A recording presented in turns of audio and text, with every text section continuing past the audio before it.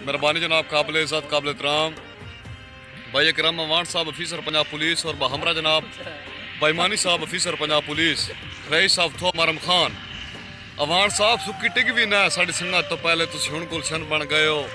JIO ਜਿਹੜਾ ਅਸਲ ਪਛਾਣ ਤੁਹਾਡੀ ਆ ਉਹਦੇ ਕਿਉਂ ਦੁਸ਼ਮਣ ਬਣ ਗਏ ਹੋ? ਕਦੀ ਆਖਦਾ ਹੂੰ ਮੈਂ ਪਾਰ ਨਾ ਵੈਸਾ ਖੁਦ ਪਰਲੀ ਮਣ ਬਣ ਗਏ ਹੋ। ਜਿਹੜੇ ਬਾਂਹ ਤੇ ਸੋਹਣੇ ਥੱਕਦੇ ਨਾ ਉਹ ਅਜੀਤ ਦਾ ਚੰਦ ਬਣ ਗਏ